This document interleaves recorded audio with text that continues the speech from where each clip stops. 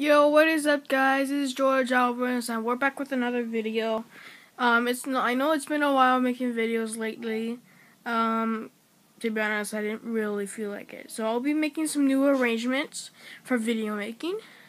So by almost every Wednesday, if I have an idea uh, for this for another video, then I'll be making another video. So yeah, and this is my other video my other video for geckos. Okay, be back right in a sec. The gecko's name is Ninja.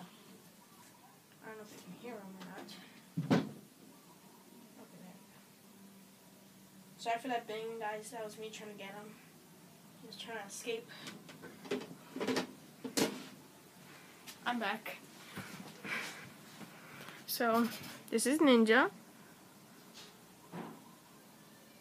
I call him that because, you know, he's pretty much stealthy, and when I try and find him in a tank, in the cage, he tends to just disappear automatically. So, yeah. Hmm? Sneaky. Sorry, so this is Ninja. Yeah. I know he's kind of like soft, almost soft and um why are you looking at me like that? For some reason he some geckos with uh, whenever I catch some geckos, they always have a strange behavior on me. Yeah, spoon when I rub when I rub this guy's belly or something or back, it feels very soft. And I know for a fact some geckos can be aggressive. Like this one. This one is aggressive, watch. Just trying to irritate him a little bit.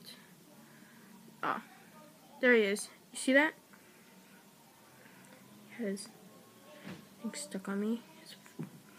His mouth stuck on my finger.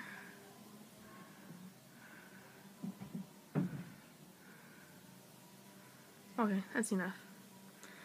So yeah. So this is just my video for for just geckos and video arrangements.